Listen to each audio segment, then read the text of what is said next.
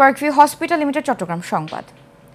ধনী, গরিব, ভাই ভাই, যা পাই একসাথে খায় স্লোগানে ডাল ভাত নামের ব্যতিক্রমী প্রজেক্ট উদ্বোধন করেছে স্বেচ্ছাসেবী সামাজিক সংগঠন, দুর্বার তারুণ্য।